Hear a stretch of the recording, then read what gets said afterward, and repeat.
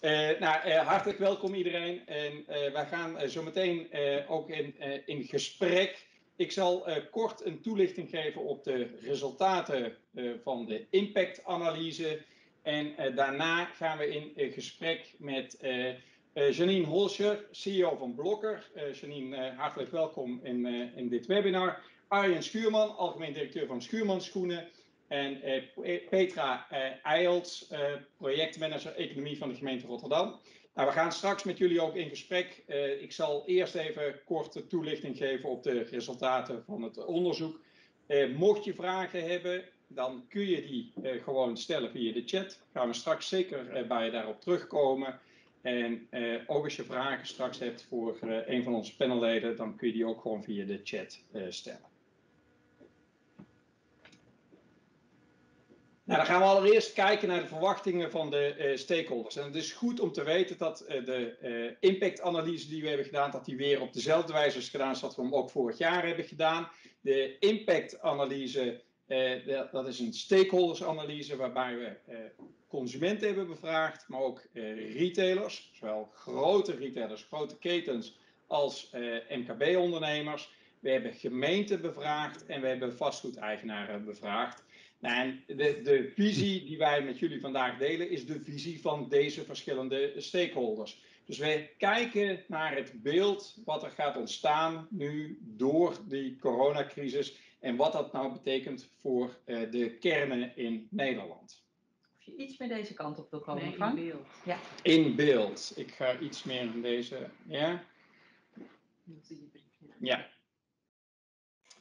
Eh, het eh, winkelgedrag dat is eh, allereerst behoorlijk veranderd. En als we daarnaar kijken, dan zien we dat eigenlijk de lockdown en vooral de winkelsluiting erg van invloed is geweest op het gedrag van consumenten. Natuurlijk hebben we ook te maken gekregen met reisbeperkingen. En het thuiswerken, ja, die beïnvloeden ook het koop- en het winkelgedrag van consumenten. En dat lijkt er ook op dat dat echt tot permanente veranderingen gaat leiden. Consumenten winkelen minder vaak, hebben online echt volledig om, omarmd. En ook groepen hebben dat uh, gedaan die voorheen nog veel minder online kochten. En we zien dat consumenten minder vaak naar steden gaan. Er is een duidelijke verschuiving van fun shoppen naar run shoppen, of misschien moet het wel functioneel winkelen noemen. En winkelen wordt daardoor dus ook veel functioneler, maar ook veel lokaler. Want we zien ook gewoon dat mensen veel vaker dicht bij huis zijn gaan winkelen ja, in die afgelopen periode natuurlijk die we nu hebben, eh, was het natuurlijk veel lastiger om zelfs te winkelen. Want we werden bijna gedwongen om online te kopen. Maar tot die tijd zagen we ook, en dat zagen we ook in eh, winkelgebieden, dat eh, consumenten veel dichter bij huis waren. Maar ook veel anders over de week verdeeld hun aankopen deden. Nou, thuiswerken is echt niet meer weg te denken. En dit heeft grote impact op, op retail en vooral ook op de daghoreca. En we verwachten ook dat dat op high traffic locaties uh, en kantorencomplexen, dus daar waar daar winkels zitten, dat dat daar ook, uh, ook naar de toekomst toe veel invloed zal hebben.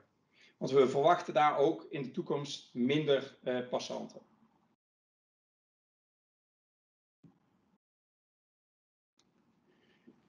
Als je kijkt naar het teruggaan naar het oude normaal, ja, dat lijkt eigenlijk niet meer te gaan gebeuren ik wil jullie geen nieuw normaal aanspreken, laat dat uh, heel duidelijk zijn, maar wel een ander normaal. Uh, de pandemie heeft uh, duidelijk laten zien dat we heel anders gaan winkelen, ook naar de toekomst toe.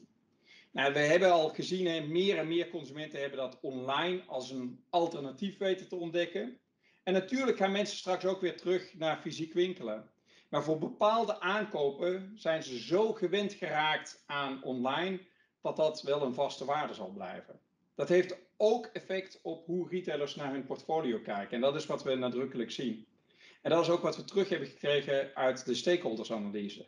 Dat grote ketens kijken waar ze nog winkels hebben, waar ze die in de toekomst nog zullen hebben en of ze misschien in een stad nog wel twee of drie winkels hebben, maar misschien straks nog maar één. Nou, thuiswerken heeft ook effect op de spreiding van ons, uh, uh, hoe we dat doen uh, over de week. En we verwachten ook naar de toekomst toe dat dat thuiswerken dat dat ook in de toekomst zal leiden dat de verdeling van het, de bezoekmomenten, dat het veel meer gelijk verdeeld zou worden over de week. Wat nog even misschien goed is om te weten, is dat we ook gevraagd hebben naar dat, de, dat thuiswerken. En de mensen die thuis kunnen werken, die verwachten naar de toekomst toe dat ze dat voor ongeveer de helft van het aantal uren dat ze werken, straks thuis zullen werken. Nou, dat hebben we ook getoetst bij zowel de vastgoedeigenaren als bij de grotere uh, retailbedrijven. En hebben gevraagd hoe zij daarnaar kijken voor hun eigen medewerkers die op kantoren werken. En zij verwachten dat zeker 40% van de tijd straks ook thuisgewerkt zal worden. En dat gaf ons ook wel het gevoel dat dat dus ook een vaste waarde is. Maar wat zijn dan de gevolgen daarvan voor de retail? Nou, wat er verwacht wordt, is dat er echt minder winkels zullen komen. En dat zal deels gaan door faillissementen, maar zeker niet alleen door faillissementen. Want er zullen ook winkels gesloten worden bij filiaalbedrijven, doordat ze gewoon rationaliseren in hun uh, filiaalbestand. En wat we zien is dat er ook steeds meer vrijwillige bedrijfsbeëindigingen komen. En hoe langer de winkels gesloten blijven, hoe groter ook de kans is dat winkels gaan sluiten. Nou, de verwachting was bij het grootwinkelbedrijf dat 15 tot 30 procent zou sluiten op voorwaarde dat ze 1 maart open zouden kunnen. Maar daarvan weten we allemaal dat dat in elk geval niet is gebeurd. Nou, we hopen natuurlijk nog steeds dat we misschien eind van de maand de winkels weer open mogen. Of misschien op zijn minst dan meteen na Pasen. Maar dat betekent wel dat er een groot effect gaat zijn op het winkelbestand. Onder vastgoedeigenaren is de verwachting dat 10 tot 30 procent van de non-foodwinkels zal verdwijnen. En als we kijken naar gemeenten, dan zien we dat daar zo'n 20% verwacht wordt dat er gaat verdwijnen. En als winkels pas eind april open gaan, want dat was ook een van onze vragen, dan verwacht zelfs 40 dat 40% gaat verdwijnen. Ja, dit heeft dus een heel groot effect op het winkelbestand. We hebben ook gevraagd naar horeca, want we zijn natuurlijk niet alleen in die binnenstad. En van horeca wordt verwacht dat zo'n 20 tot 30 procent zal verdwijnen. Maar wel met die aantekening dat er verwacht wordt dat horeca veel sneller weer zal openen. Dus dat er weer nieuwe bedrijven zullen starten op die locaties. En dat dat bij retail eh, veel structureler zal zijn. Dus eenmaal weg, dat dat waarschijnlijk ook eh, voor veel plekken zal betekenen altijd weg.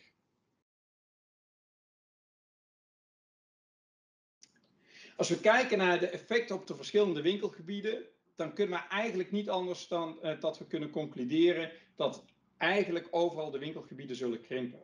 Daarbij hebben we wel een verdeling gemaakt in drie verschillende winkelgebieden.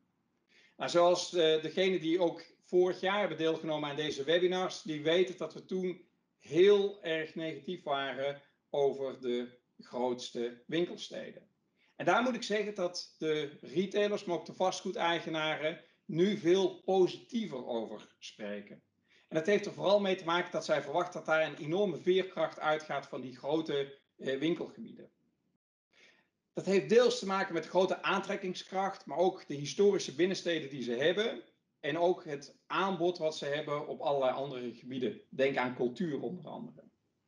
Toch verwachten eigenlijk alle stakeholders daar dat het toch om compactere winkelgebieden zal gaan.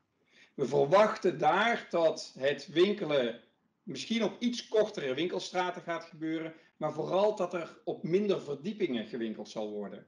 Het zal niet meer zo zijn dat er op de tweede of de derde verdieping eh, nog winkelaanbod zal zijn, maar dat dat dus veel meer geconcentreerd zal zijn op de begane grond en de eerste verdieping.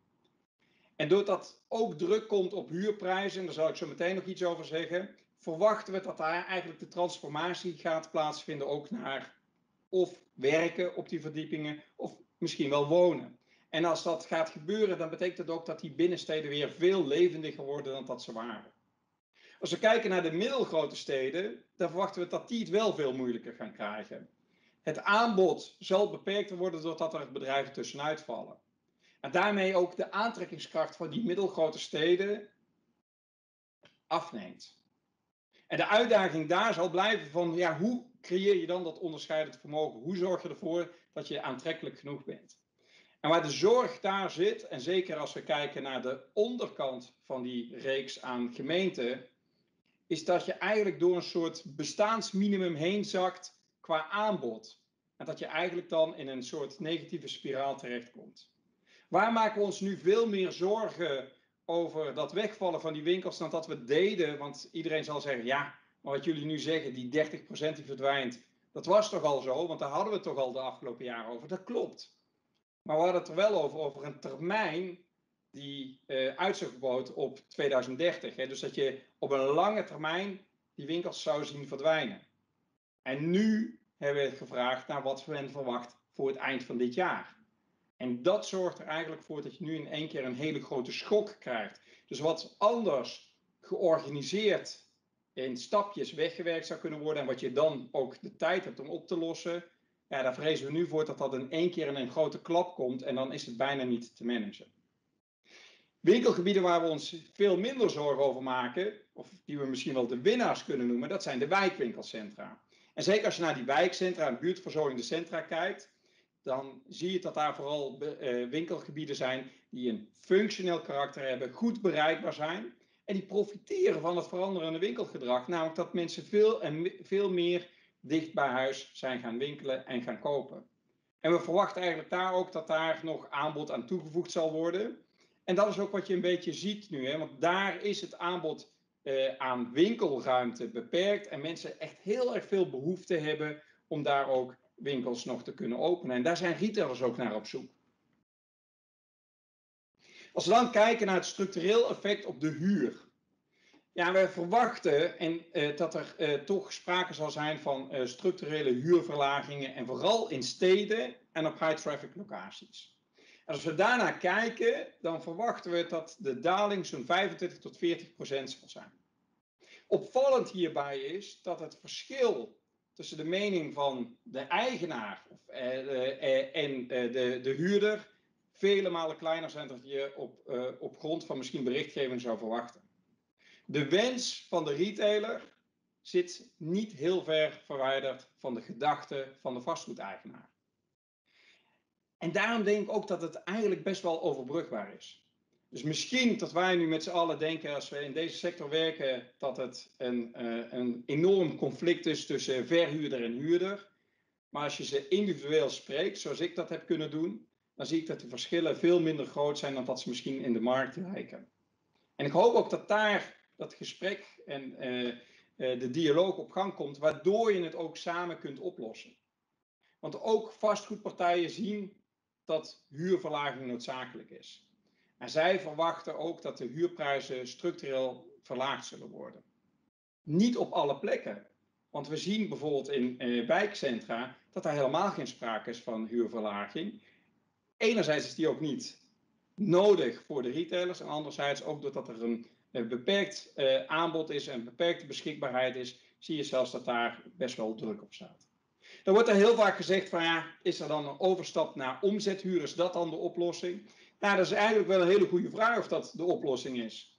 Eigenlijk als je kijkt naar de rol van winkels, zeker in uh, grote steden, ja, dan kun je afvragen of omzethuur misschien wel straks de beste oplossing is. Misschien moeten we veel meer gaan nadenken over huur die gekoppeld is aan de traffic huur die gekoppeld is aan het aantal passanten. Want anders legt ook zo'n huurbaas ja, zijn eieren ook wel helemaal in het mandje van de retailer. Want dan is hij ook erg afhankelijk van hoe goed hij het doet. Dus ik denk dat je ook hier samen met elkaar de oplossing moet zoeken. En ja, ik zet daar mijn vraagteken achter omzethuur. Het zou een richting kunnen zijn, maar misschien zijn er ook wel heel andere oplossingen. Ik zal uh, de presentatie uh, stoppen met delen, want ik ga uh, zo meteen in gesprek met onze panelleden. ik ben vooral benieuwd ook hoe zij het zien, maar we zijn ook heel erg benieuwd hoe jij het ziet en hoe jouw nieuwe normaal eruit ziet, of het andere normaal, en welke vragen jij hebt ook voor onze panelleden. Er zijn al meerdere vragen binnengekomen. nou, daar gaan, we, ja, daar, gaan we zeker, uh, daar gaan we zeker op uh, antwoorden. Ik ga even de presentatie stoppen met delen. Dan kunnen we jullie ook allemaal, uh, allemaal zien.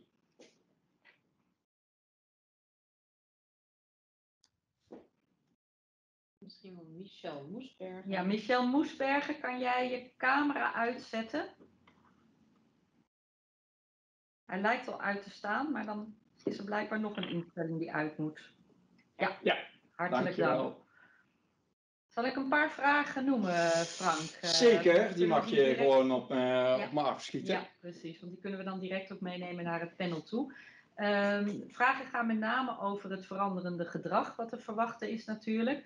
Dus David Lansen van InRetail die zegt, ehm, is het, zijn de wijkcentra nog steeds de winnaars op de langere termijn? Of gaan consumenten niet weer terug naar het oude gedrag? En dat is ook in lijn met de andere vragen. De hoe verhoudt zich meer lokaal winkelen en minder aantrekkingskracht middelgrote steden? En ook vragen over die sociale meerwaarde. Dus die loyaliteit die mensen. Vorige keer hadden we ook als, als conclusie gezegd: dichtbij is de nieuwe bestemming. En dat leek ook dat daarom juist die middelgrote steden het zo goed deden. Ehm, en waarom is dat Ja, dan nu zo? Ja, dan, eh, dan is misschien ook weer de, eh, de middelgrote steden. Ja, daar hebben we gisteren natuurlijk ook een gezellige discussie over gehad. Van wat is een, wat is een grote stad Ja. en een middelgrote stad. Eh, misschien moeten we het veel meer hebben over de regionale. dus het is echt heel dichtbij. Dat zijn de, de, de, de winkelgebieden die eh, vooral onder druk. eh, eh, of heel dichtbij, dat zijn de winkelgebieden die het heel goed doen. Maar dat vooral die regionale gebieden zijn die, die daar veel meer last van, van hebben. Ja.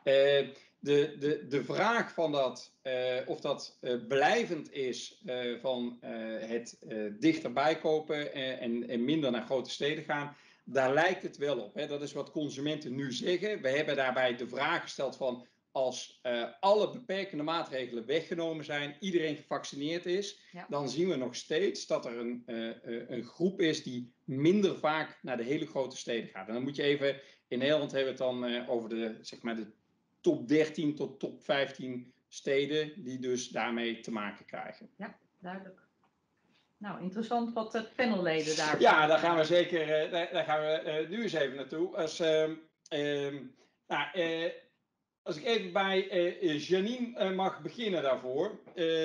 Als jij kijkt naar ja, jullie, toen jullie de afgelopen periode open waren, zagen jullie, want die, die quote van dichterbij is de nieuwe bestemming, die heb ik gestolen van, van jullie CEO van Mirage. Maar ik blijf hem wel nog steeds heel erg mooi vinden. Maar hoe kijk jij daarnaar, Janine? Ehm, ja, ik denk, eh, ik heb instemmend eh, mee zitten knikken.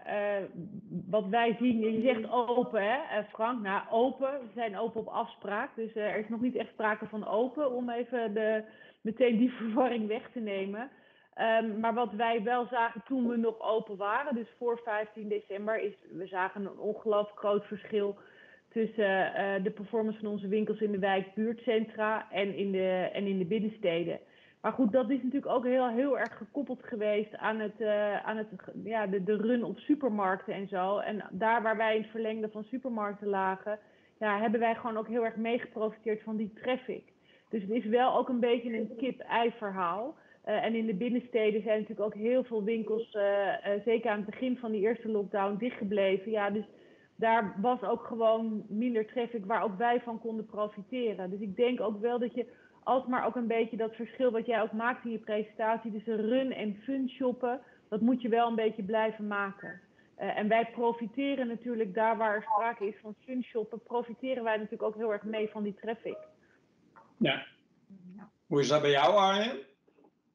Ja, eigenlijk exact zo. Dus dat kan ik helemaal beamen. Het is eigenlijk eh, hoe groter de stad is, eh, des te minder dat het was. Hè? Zowel eh, qua traffic natuurlijk als eh, qua resultaat. Dus dat, daar zit ik wel eh, precies mee op eh, dezelfde lijn.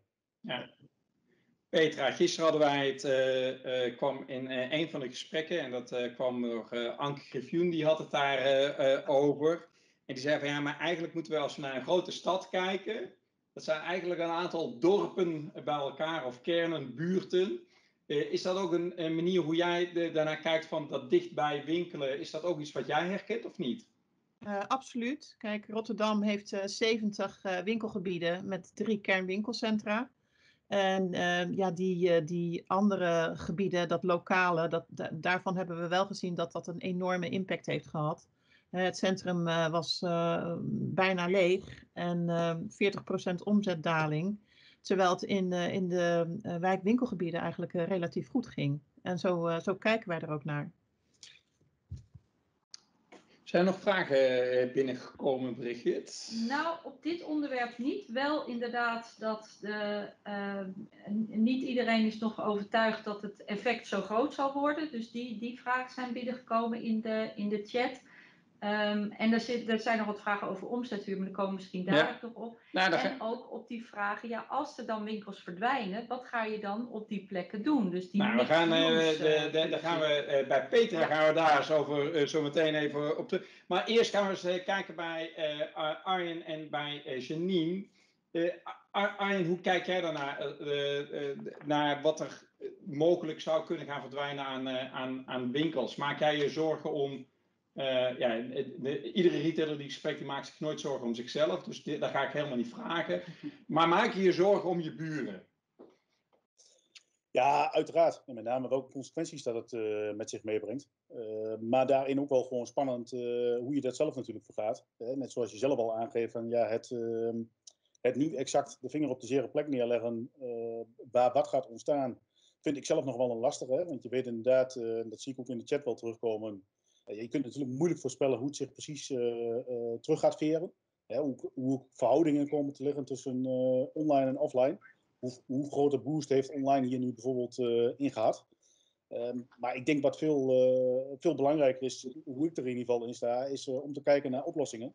En hoe kun je dat, dat tij zeg markeren? En hoe kun je zo relevant zijn voor de consument ja, per positie wie, wie je inneemt, om, om zeg maar, uh, het interessant te houden, ook voor de consument. Want ik denk dat we daar veel meer over moeten praten dan naar de aanleiding en naar het probleem. Want daar zit namelijk de oplossing in.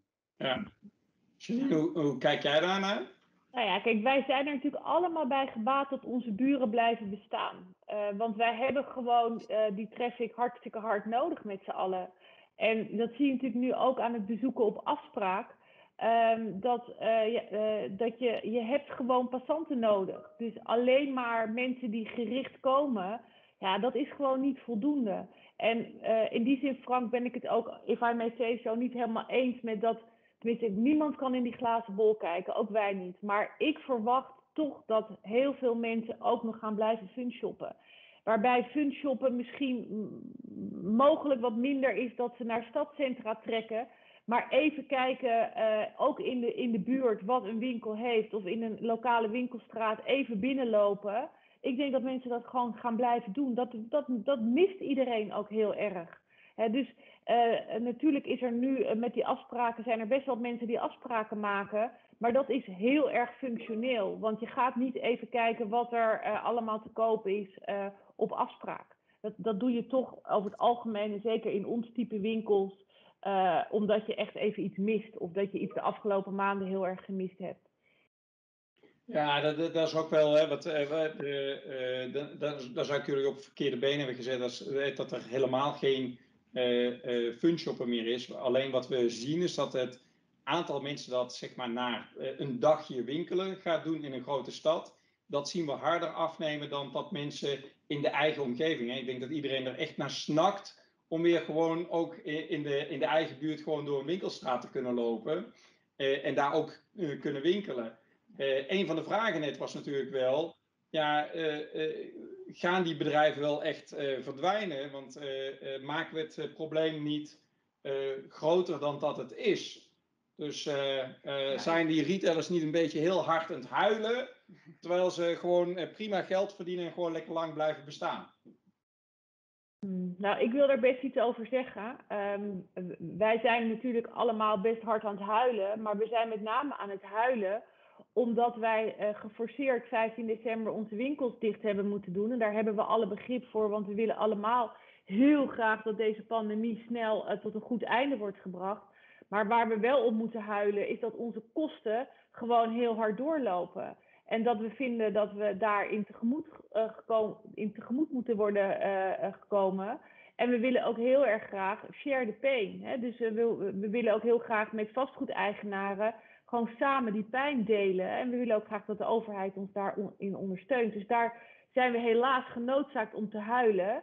En we hebben waarschijnlijk nog niet hard genoeg gehuild, omdat we nog steeds niet een passend steunpakket hebben. Dus, um, Maar ondertussen zijn we ook optimisten en kijken we vooruit. En nou ja, is elke fase weer. Ehm, ehm, brengt ons dat weer iets nieuws in ons ondernemerschap. Hè? Dus daar waar we bij Blokker met de lockdown snel Blokker Express hebben opgetuigd en vervolgens bel en bestel, zijn we nu weer heel hard met boek en bezoek. Dus wij kijken vooruit en we blijven positief. Um, maar niemand weet hoe het uh, straks gaat. Maar wij zijn natuurlijk op alles voorbereid, uh, Frank. Dus ja, we hebben alle, alles klaar om, om open te gaan en onze klanten te ontvangen. Ja. Nou ja, ik denk dat het dan ook in, in precies uh, wat, wat we nu ook in de chat een paar keer naar voren zien komen. Niemand weet het en die glazen bol, dus waar we het ook nee. over hebben. En we denken ook dat we uh, wel degelijk weer teruggaan naar een nieuw normaal, naar een ander normaal. Maar, en dat mensen absoluut willen blijven uh, winkelen.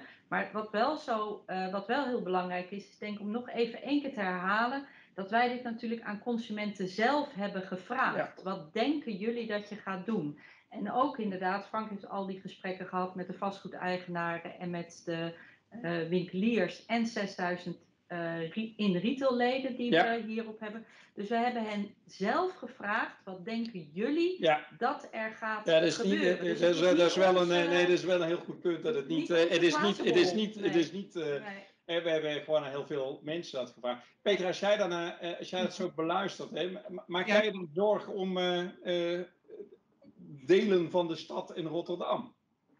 Nou ja, uh, over de hele stad uh, moet ik je eerlijk zeggen. En uh, ik, we hebben niet voor niets al voor de coronacrisis, toen was er al een roep vanuit Rotterdamse retailers. Die zeiden, ja gemeente, kom met een deltaplan, want het gaat mis. En we zien dat, dat, we, dat we positie gaan verliezen en dat, dat het ja, een beetje down the drain gaat.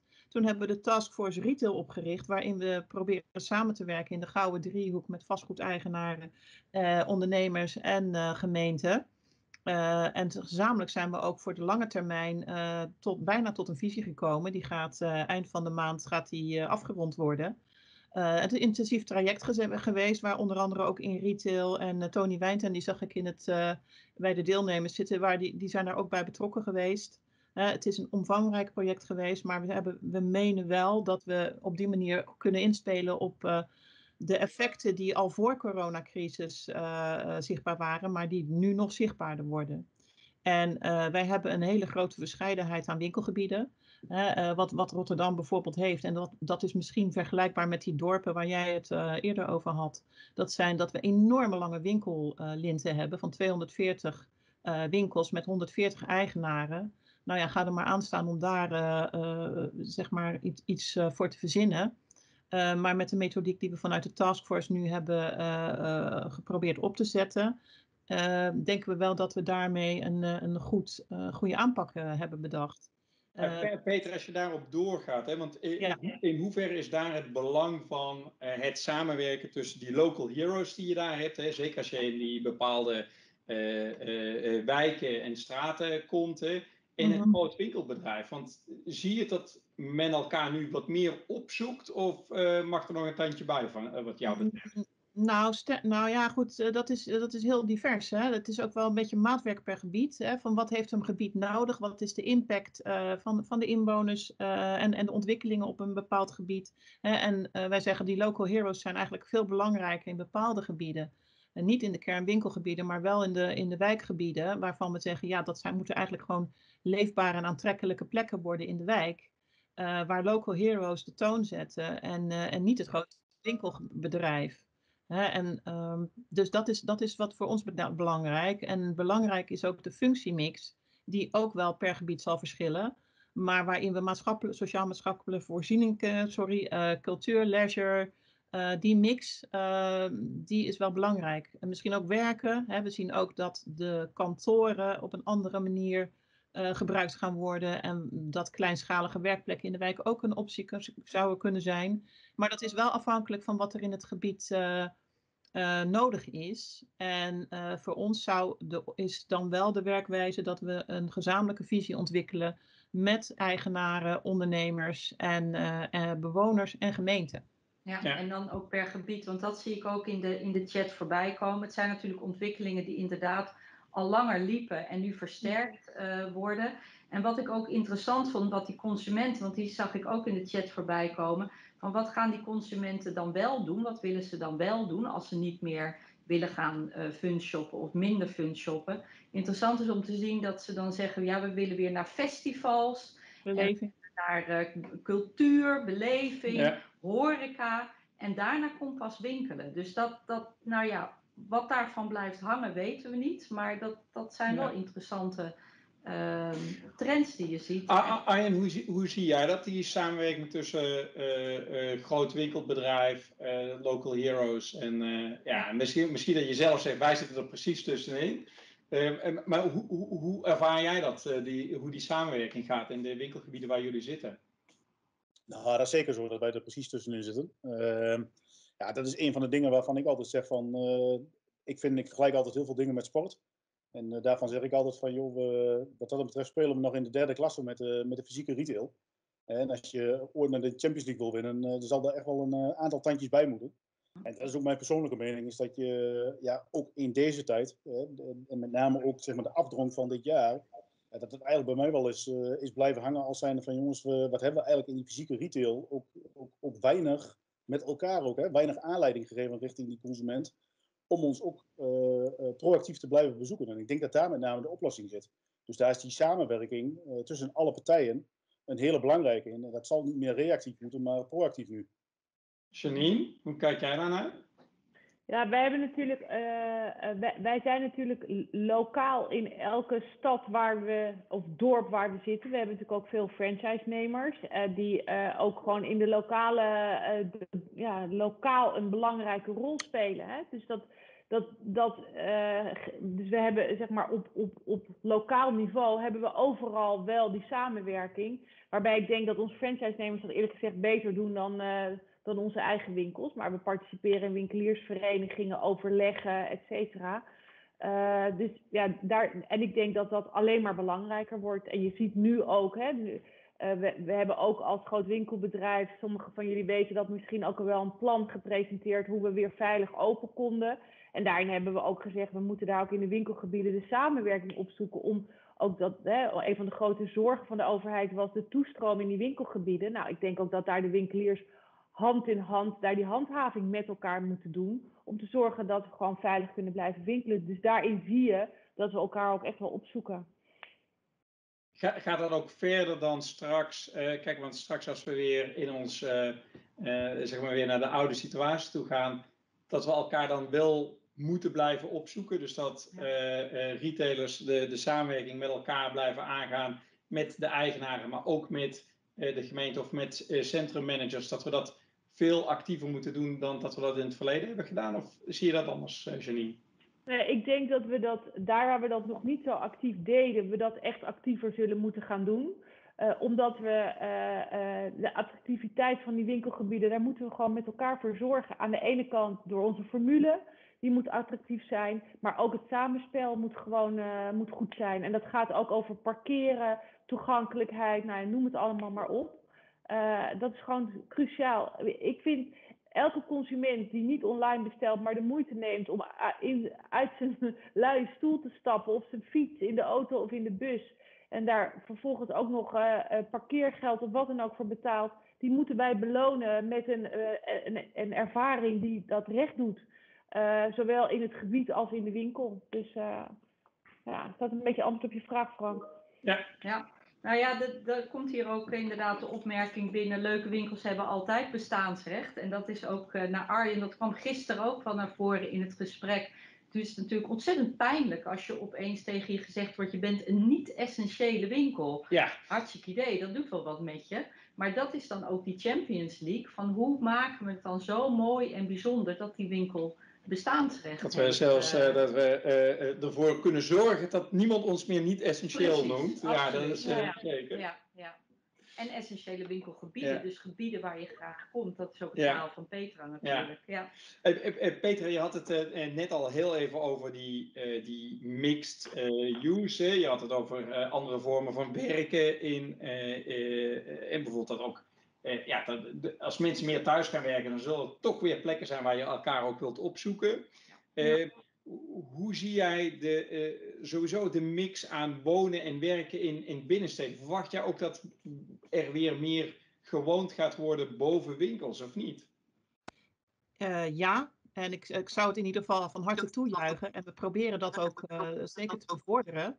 Uh, want dat, dat geeft, hè, dat stond ook in jouw uh, conclusie, wonen boven winkels geeft levendigheid in straten. En zoals je weet was het in, in Rotterdam een tijd zo dat je een kanon kon afschieten, werd er altijd gezegd. en dat, dat bevordert de aantrekkelijkheid niet en ook niet de veiligheid van een, van een winkelcentrum, dus van een stad. dus ja, absoluut. Wonen boven winkels is echt een kans. Hè? En, zowel voor de woningbouwopgave uh, als, voor, uh, als voor de aantrekkelijkheid van de straat.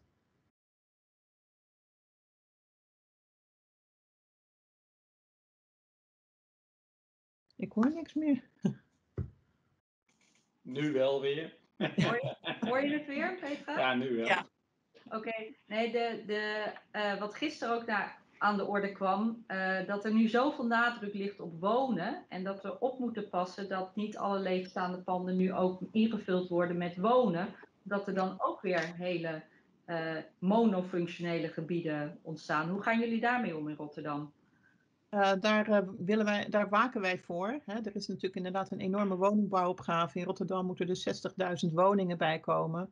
Maar ja, goed, een, een, een, woongebied blijft alleen aantrekkelijk als je inderdaad dat dorpsgevoel hebt. En als je dus je, je, je ontmoetingsplaats, ik noem het maar even geen winkelstraat, maar een ontmoetingsgebied uh, hebt. Uh, waar jij, waar jij uh, gewoon de, de services kan krijgen die je nodig hebt om aantrekkelijk te kunnen wonen. Dus dat is heel belangrijk. En wij, wij, gaan daar ook van uit als wij die visie gaan maken. Hè? Dus dan zullen ook de voorzieningen die nodig zijn en uh, nou ja, goed, andere functies, die gaan we daaraan toevoegen. Maar wat ik al eerder zei, dat is afhankelijk van uh, het gebied waar je in je divisie maakt. Ja. En, uh, Janine en Arjen, hè, de, een van de zaken die ook naar voren komt, die, die mij is opgevallen uit de gesprekken die ik heb gehad met zowel retailers als vastgoedeigenaren, is dat het verschil tussen wat de een vindt dat hij aan huurkorting moet krijgen en uh, de ander dat hij wil geven. Ik zie dat het verschil in de gesprekken die ik heb gehad, nee, die heb ik allemaal anoniem gehad, maar het verschil is niet zo groot. Hè? Hoe kan het nou dat het zo moeizaam gaat om uh, met elkaar eruit te komen? Ik, ik, ik, snap dat dan niet zo goed. Arjen, kan ik met jou beginnen en dan ga ik daarna over naar Janine. Hoe, hoe, hoe, loopt dat bij jou met het onderhandelen met de huurbazen? Ja, dat is heel, uh, heel divers. Hè? Dus dat, uh, dat ligt er natuurlijk heel erg aan wat van, met wat voor partij dat je te maken hebt. Over het algemeen bij ons zijn het ook wel veel private partijen nog. Ja, en daar valt inderdaad prima mee te praten. Hè? Dat, daar heb je inderdaad wel eens vaak een vooringenomen mening over. Dat je denkt van, oh, dit kan nog wel eens een lastige worden. En dan blijkt inderdaad, daar kan ik wel aan wat je zegt. Is dat het heel vaak zo is dat je toch dichter bij elkaar zit dan dat je eigenlijk al denkt. en vooral als je ja, je ook even goed verdiept in elkaar. Dus gewoon goed het gesprek aangaan. Goed snappen uh, hoe je er beide in zit. Uh, dan is mijn ervaring dat je er over het algemeen gewoon uitkomt. Uh, alleen ja, het zijn wel uiteraard altijd wel intensieve trajecten, zoals ik dat zelf ervaar. want er is toch veel van, veel van afhankelijk. Ehm, dus ja, dat, het kost gewoon veel tijd en moeite. Janine, hoe loopt dat bij jullie? Nou, ik, uh, ik herken uh, wel wat Arjan zegt, dat uh, de, eigenlijk de, de particuliere partijen over het algemeen bereidwilliger zijn dan, dan de grote institutionele partijen. wat ook, vind ik, soms weer bewonderenswaardig is, omdat er ook echt kleine particuliere investeerders zijn die hier gewoon van moeten leven.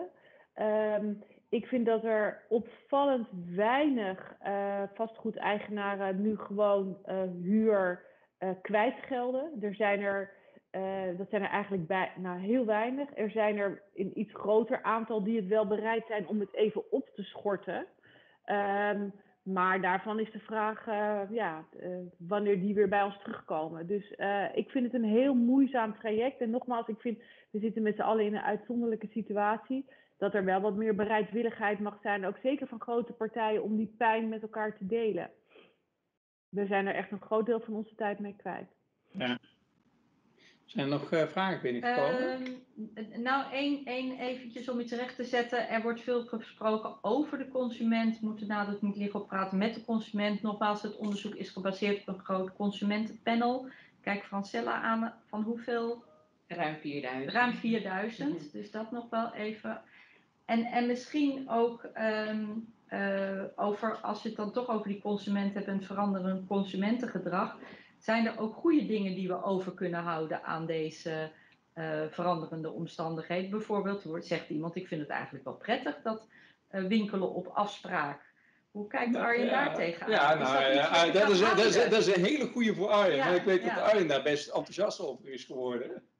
Ja, nee, zeker. En uh, met name ook, er zitten, ja, er zitten gewoon heel veel veranderingen in wie we, wie we gewoon mee blijven nemen naar, naar de toekomst heen. Denk bijvoorbeeld alleen al dat we en volgens mij doet Janine dat vanuit Blokker ook, uh, het leveren zeg maar, vanuit de winkels bij de consument. Ja, als het over lokale community gaat, hè, en met name in de, uh, in de middelgrote plaatsen, zeg maar, en de wat kleinere plaatsen, ja, dan is er natuurlijk eigenlijk bijna niks mooier dan dat je zelf op uh, de stoep staat bij je eigen consument. Hè, want dan pas ervaar je en zie je ook wie het is, hoe iemand leeft, wat zijn behoeftes zijn, waar je iemand mee kunt, kunt helpen. En daar, daar komen gewoon hele positieve berichten eigenlijk ook van onze, uh, onze medewerkers ook, uh, ook van terug. dat het ook zelf als heel, heel erg positief ervaren. dus dat is een van de, van de blijvers. Ik denk dat bijvoorbeeld het, het kopen op afspraak, nou, voor ons geldt dan bijvoorbeeld dat je dan kunt denken aan als wij bijvoorbeeld één keer in de maand een podotherapie middag hebben. Daar kunnen we natuurlijk heel goed de planningstools die we nu gebruiken, die kunnen we daar ook weer, ook weer op inzetten. Um, maar denk ook al bijvoorbeeld, we zijn uh, in alle winkels zijn we DHL servicepunt geworden. Hè, dus dat, dat, dat creëert ook extra traffic. Dus ja, je, wordt ook creatiever, je wordt aangezet uh, om uiteindelijk, nou, zo noem ik het intern, om uit die derde klasse te komen. En, en te zien dat we ooit de Champions League winnen. Ja, daar is gewoon verandering voor noodzakelijk. En ja, ik zie met name dat onze, onze medewerkers, ja, die moeten ook wennen aan die verandering. En om zeg maar het, het te omarmen, ook vanuit die lokale community te gaan denken. Dus wat is daarvoor nodig? Hoe creëer je dan die lokale betrokkenheid? Ga dan ook in die ondernemersvereniging zitten. Ga dan ook proactief meepraten. En niet uh, achteraf gaan lopen zeuren van, joh, de gemeente doet dit niet. Of die partij doet dat niet.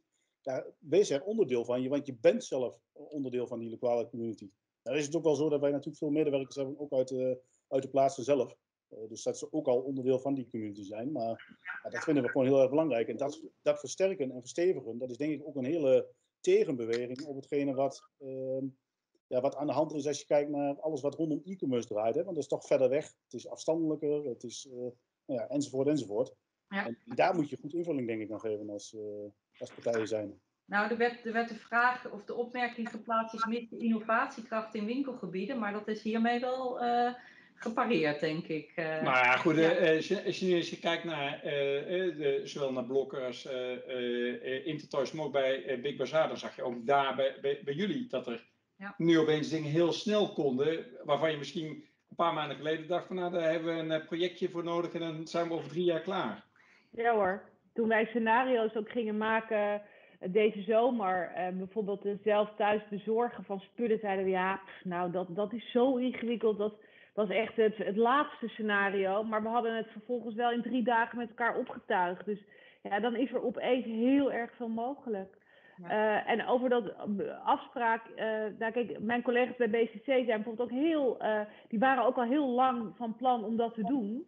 Nou ja, en die hebben dat nu. Nou, je kan je voorstellen hoe fijn het is dat je ook als consument gewoon een afspraak kunt maken als je een nieuwe televisie wil kopen of een wasmachine en dat je niet op zaterdagmiddag alsmaar achter die ene meneer aan hangt die met een andere klant bezig is. Dus zeker zijn er denk ik heel erg veel dingen. En ook inderdaad wat we bij Blokker doen, dat thuisbezorgen. Ja, dat zijn allemaal dingen die gaan we natuurlijk uh, professionaliseren. Maar zeker meenemen vanuit uh, deze ervaring. Petra, zie jij dat nu ook in, uh, in winkelgebieden? Zie je ook bijvoorbeeld dat ze daar zelfstandige ondernemers, dat ze bijvoorbeeld op platformen zijn gegaan. Of dat ze door samen te werken klanten kunnen bedienen die ze daarvoor misschien niet konden bedienen? Nou, dat, uh, dat, ja, dat verschilt ook weer heel erg per gebied. Ik zie dat er heel veel winkelgebieden zijn die dit soort initiatieven aan het ontwikkelen zijn. Ehm, maar dat ze ook nog wel zoekende zijn van wat is nou, wat is nou uh, ja, het goede antwoord hierop en welk platform moeten we dan, hoe moeten we dat oprichten. Dus we zijn een beetje in die fase. Um, en het ene, ene gebied doet het beter dan het andere. We zijn uh, bijvoorbeeld op Boulevard Zuid nu wel aan het experimenteren. Uh, maar dan zie je ook wel, en dat zag ik ook net langs bij de vragen komen, van ja, we hebben natuurlijk de jonge ondernemers, ja, daar is het eigenlijk een tweede natuur van. Um, maar je hebt ook oudere ondernemers die gewoon daarmee worstelen. En daar zijn we nu wel bezig met een soort coachingstraject op die straat. En we helpen ze aan alle kanten om, om daar gewoon wat weerbaarder in te worden.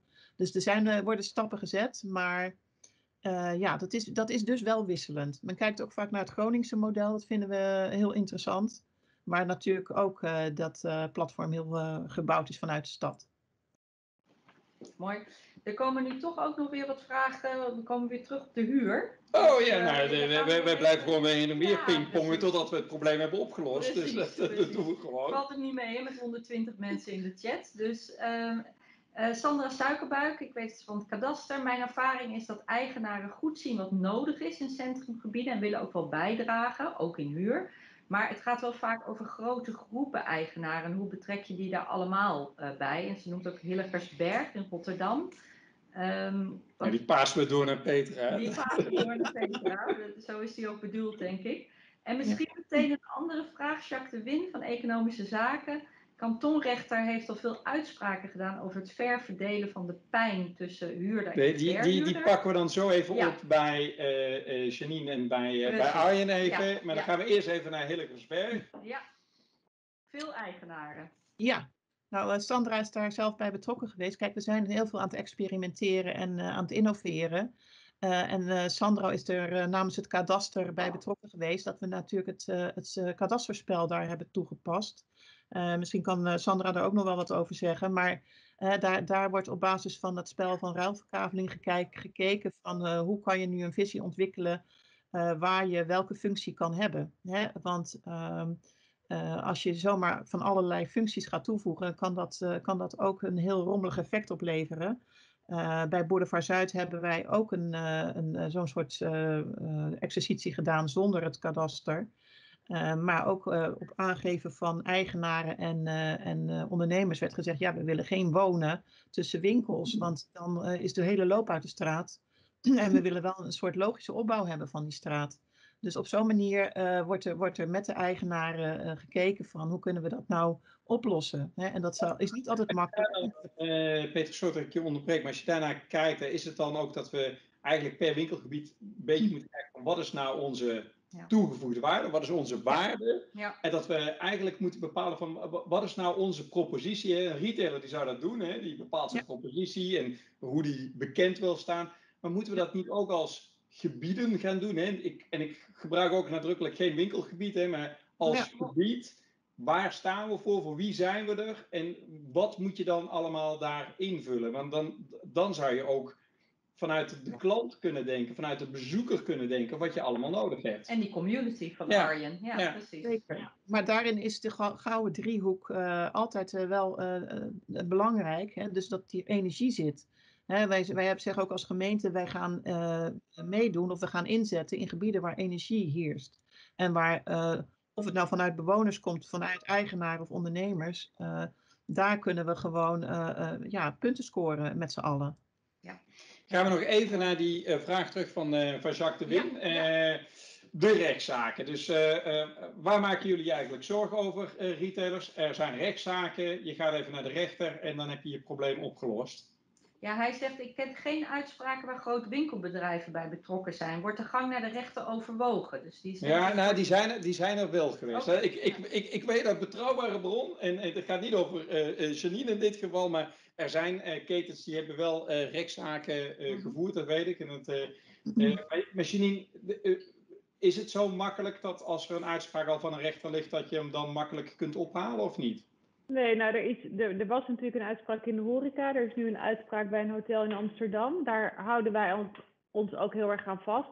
Uh, wij, wij hebben hier natuurlijk ook een advocaat op zitten. En wij, uh, wij, ja, zoals dat zo mooi heet, wij schuwen de gang naar de rechter niet. Ik kan daar ook niet inhoudelijk te veel over vertellen. Maar ik weet dat er nu drie dossiers bij ons liggen om eh, mee naar de rechter te gaan. En ik weet ook van collega-retailers, ik noem ook geen namen, dat die daar ook net zo hard toe bereid zijn om dat nu te gaan doen. Ja. Arjen, jij nog uh, naar de rechter of uh, doe je dat niet? Nou, ik probeer wel, uh, kijk, ik vind de relatie namelijk ook belangrijk. Hè? Dus als je het over community hebt, dan, dan kan je met name om me heen. Hè? Dus welke bedrijven zijn eraan verbonden? Nou, daar is natuurlijk de verhuurder er ook gewoon één van. dus ik probeer dat met name vanuit het gesprek gewoon op te lossen. ja, en als dat niet overbrugbaar is, ja, dan, dan moet je je afvragen of je uiteindelijk bij elkaar past. Ja, dan kan het ook wel zijn dat ik andere conclusies naar de toekomst heen ga trekken. Kijk, ik wil met mensen samenwerken wie, uh, wie bij ons passen. En wie in, de, in, in dezelfde denkrichting uh, zitten. En dat kan natuurlijk door, uh, door een situatie zo zijn dat dat niet kan. Maar daar kun je alsnog over praten met elkaar. Hè? En dat, dat hoeft wat mij betreft niet, niet voor de rechter plaats te vinden. Ja, als er maar een, een goede uitleg dan komt. Ja. ja. Ja, nou ja, laten we dat er dan aan proberen over te houden. Dat we elkaar in ieder geval beter kunnen vinden. Ja, nou, dat lijkt me een hele goede. Verder heel veel mooie uh, voorbeelden over innovatiekracht in de retail. Uh, Warenhuis Hoorn, Warenhuis Groningen, Gijsbrecht. En dat zijn natuurlijk ook uh, prachtige initiatieven die ook in de versnelling zijn gekomen, maar dan op een ja. positieve manier. Ja. ja. Zijn er nog dingen, als jullie kijken naar de, naar, naar, de toekomst, wat zijn er nou nog dingen die je van elkaar nodig zou hebben? Hè? Dus ik weet dat ik jullie lekker overval met deze vraag. En uh, Petra, ik zal zo meteen met, uh, met jou beginnen. Maar wat heb je nodig van de andere stakeholders? Hè? Dus als je vanuit de gemeente kijkt, wat heb je dan nodig vanuit uh, de, de, de stakeholders? En ik heb daarbij ook nadrukkelijk de vraag van, hè, want één stakeholder die we niet aan tafel, maar daar doen wij deze, dit traject voor. Wat heb je ook nodig van de Rijksoverheid? Hè? Dus wat verwacht je van elkaar en daarin ook van de Rijksoverheid? Petra, mag ik met jou beginnen? Ja, dat is goed, dankjewel. Uh, nou ja, goed, ik, dan moeten we echt ook even een onderscheid maken tussen korte en lange termijn, denk ik. Uh, voor de korte termijn zijn wij nu bezig met toch wel een, een lobbytraject om te kijken of regelgeving aangepast kan worden. we hebben een keten van banken, eigenaren, ondernemers en gemeenten. En je ziet dat we, dat we ook, hè, als je het hebt over het verhaal van, van de huur enzovoort, nou dan, dan hou je elkaar ook wel een beetje in een greep. En dan is regelgeving uh, toch wel een, een belangrijke. Uh, als je het hebt over de lange termijn en als je naar stakeholders kijkt, ja, dan, dan is vooral het, dat we met elkaar doen en dat het commitment belangrijk was. Maar ik ben al even jou, jouw vraag helemaal kwijt, de scherpte, dus wil je die nog één keer stellen? Nou, wat, wat, wat, je, wat, wat je verwacht van, van, van, van, de verschillende stakeholders, hè? maar je zegt al nadrukkelijk samenwerken. En uh, vanuit de Rijksoverheid zeg je dus ook uh, iets aan regeldruk verlagen, als ik jou goed begrijp. Ja, ja, ja. Dus in, in, die, dus in die zin, en ja, dat commitment, dat is gewoon belangrijk. Want ik, ik ga, wij hebben de stelling dat we toch alleen tot een goed eindverhaal komen als we met z'n allen dit doen. Ja. En niet dat er één in de lead is. Want ik zag ook iets van, ja, kan de gemeente regie voeren? Ja, tuurlijk kunnen wij dat. Maar het is natuurlijk veel mooier als je gewoon samen tot een, tot een eenduidig verhaal komt. Kan het dan wel helpen dat daarbij gefaciliteerd wordt vanuit de Rijksoverheid, dat er gefaciliteerd wordt om dat te kunnen laten plaatsvinden? Ja, dat kan. Uh, maar vanuit de gemeente kunnen we daar ook al heel veel doen. Hè. we zijn ook bijvoorbeeld bezig met de instrumentenkoffer om ervoor te zorgen dat die mixed-use gebieden op een veel snellere manier ja, kunnen worden gerealiseerd. Uh, en we hebben gewoon al die instrumenten. Uh, als we die op een goede manier inzetten, dan kunnen we al heel veel. Ja, kijk naar Arjen en dan sluit ik zo meteen af met, uh, met ja. Janine. Arjen, wat, de, wat zijn nog zaken die jij, als je het voor het zeggen zou hebben, nog graag van de andere stakeholders zou willen? Ja, meer proactiviteit in die, in die verbondenheid tot elkaar. Want je, wat ik wel ervaar is dat er toch vaak ja, alles behalve proactief is. vaak uh, in, in, in, winkelgebieden ook. Uh, dan moet het, uh, het schaap bij wijze van spreken al verdronken zijn en dan pas worden we wakker met z'n allen. En ik denk dat met name een stuk proactiviteit ja, ons de huidige tijd ook wel geleerd heeft dat dat heel hard noodzakelijk is. Janine? Uh, ja, ik, uh, ik zou hem graag willen splitsen in de korte termijn en de wat langere termijn, uh, Frank. Want nou, op de korte termijn hebben wij de overheid natuurlijk nodig om het grootwinkelbedrijven uh, te helpen. Uh, maar ook om eh, zou ik het heel erg fijn vinden als de overheid ook een rol speelt, zoals je dat ook in Frankrijk ziet, ehm, ten aanzien van de vastgoedeigenaren, waar er gewoon iets dwingender in dat share the pain eh, model gewerkt wordt. Waarbij zowel de overheid als de vastgoedeigenaren, als natuurlijk vanzelfsprekend de, retailers en ieder hun eigen rol en dus ook hun aandeel pakken. dat is denk ik voor de korte termijn, ook voor de, nou ja, voor de winkelgebieden en het van de winkels super belangrijk. Uh, en op de iets langere termijn ben ik het ook met Arjen eens, uh, proactiviteit. Uh, maar ik vind ook heel belangrijk, en ik denk dat dat ook iets is wat speelt in de binnensteden, de veiligheid. Hè? Dus de overheid heeft gewoon ook een hele nadrukkelijke rol in, het, in het borgen van die veiligheid in die winkelgebieden. Wat je ziet is dat bijvoorbeeld koopavonden worden eigenlijk steeds meer teruggeschaald, omdat het eigenlijk niet, ja, mensen het onprettig vinden, um, er onvoldoende veiligheid geborgd wordt. Dus dat soort zaken denk ik dat we echt met elkaar uh, moeten, moeten doen. We hebben het natuurlijk al eerder net even gehad over dat, dat, handhavingsstuk in coronatijd. Wij zijn natuurlijk nu met dat deurbeleid in corona, uh, nemen wij best veel verantwoordelijkheid, vind ik, als winkels. We hebben ook zelfs de verantwoordelijkheid, een soort helpende hand naar de overheid willen uitsteken met dat, het veilig winkelen. Um, maar goed, dat zijn ook wel onze mensen, onze uren die we daarin steken. Ik vind ook daar dat de overheid dat niet alleen maar bij ons kan leggen, maar dat we dat ook echt samen moeten oplossen. Ja, mooi. En als je, eh, want je zei het over die veiligheid in die eh, winkelgebieden, maar het terugkeren van bewoners in centra, dat kan ook enorm bijdragen daar. Nee, ik denk dat we ook wel de afgelopen jaren misschien daar uh, ja, heel erg zijn gaan winkelen op allemaal verdiepingen en het ook een beetje onmogelijk zagen om daar ook mensen te laten wonen. Maar ik denk dat het vooral daar in die mix, dat dat daar ook wel uh, naar de toekomst toe misschien ook wel een oplossing zit. Ja, maar Frank, en, en jij zegt er nog, we zijn gaan winkelen op die verdiepingen. Dat is ongetwijfeld zo geweest bij de V&D's van deze wereld. Maar uh, uh, ik uh, kan je, je schrikt het aantal panden wat wij huren, waar we, waar we nooit de verdieping van gebruikt hebben die we dolgraag zouden willen uh, verhuren of, hè, of openstellen voor verhuur om dat winkelgebied leefbaar te maken. Maar de aanpassingen die daar moeten worden gedaan, de bestemmingen die daar veranderd moeten worden, ja, dat moet echt ook een samenwerking zijn tussen de overheid, de vastgoedeigenaar en wij. En ja, wij, wij staan daar echt wel, uh, wel voor open. Ja, ja. mooi. Nou ja, ook gelet op de tijd. Uh, ja, wij, Frank, wij, wij, wij, zijn aan het einde uh, gekomen. Ja, het, het vliegt voorbij. En, en wat, wat, ik heb echt lang niet alle vragen uit de chat kunnen behandelen. Maar we maken hier een mooie videoverslag van en nog een mooi verslag. En dan gaan we kijken welke vragen we nog extra kunnen behandelen. Maar als je er door de oogharen naartoe keek, dan werden vooral in de chat heel veel oplossingen aangeboden. Ja, dus dat is dat, fantastisch. Dat is natuurlijk wel ja. fantastisch dat mensen ook wel die veerkracht voelen en het idee hebben dat het einde toch in zicht is en dat we er ook weer mooie dingen uit kunnen halen. Dus laten we daarmee.